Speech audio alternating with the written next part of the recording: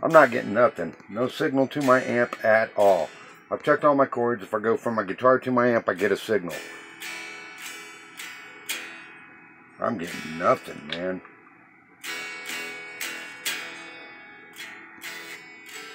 So, we got the gain turned all the way up. Click the button. Nothing. Nothing.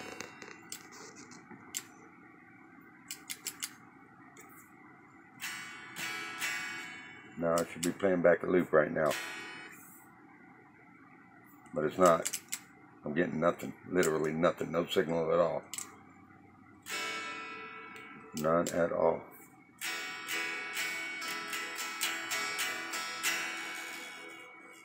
So, to prove that it's the pedal, not the guitar, I'm going to go ahead and unplug this. Plug the guitar into here. Plug the amp into here. Now I'm getting something. That's my wah wah.